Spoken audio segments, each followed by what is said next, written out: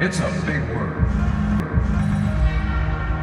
To outsiders, it's an uncertain word. But to us, it's our word. We know that Detroit isn't just a place. Detroit's an attitude. It's heart, hustle, drive. We don't care about being pretty. We're not sleek and shiny or delicate. No, we're better than that. We're solid, sturdy, proud, unbreakable.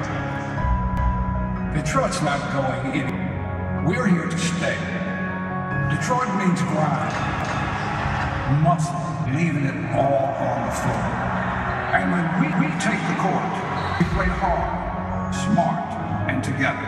It's the only way we know how to play. Detroit wins because nobody outworks us. Ever. From Midtown to Warren, Dearborn to Birmingham, our spirit is Detroit. And, and our team is...